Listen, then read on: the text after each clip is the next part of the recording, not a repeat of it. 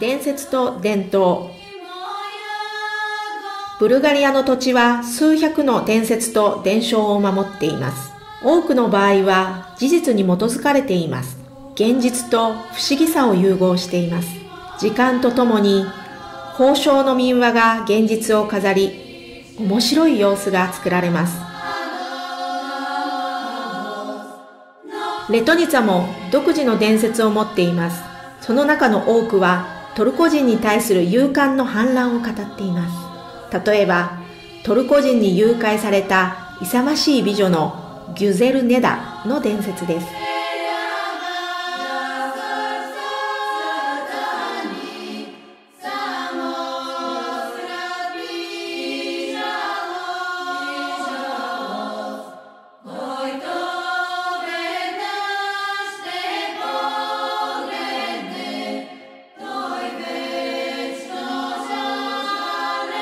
ブルガリアの土地は秘宝、財宝で大変豊富です。多くの場合はトラキア人、ローマ人やビザンティア人の頃から残っています。その他にはオスマントルコ人の山賊に埋められた場合もあり、多すぎてもう持てない餌食を後で戻って取ると思いながら秘密の場所に隠しました。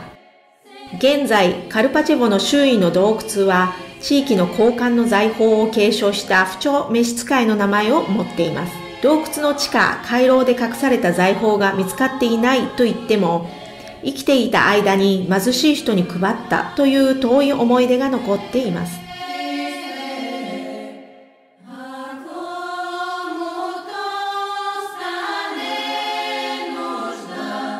もう一つ、タカ科の珍しい鳥について伝説があります。カーニャという名称で特殊な叫び声を上げています。